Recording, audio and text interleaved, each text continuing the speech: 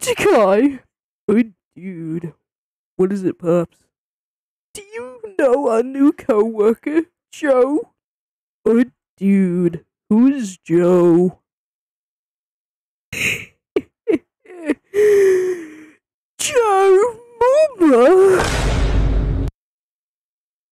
Hey, dude. Who's Joe Mama? Hey, dude. Pops, you own a Genshin Impact account.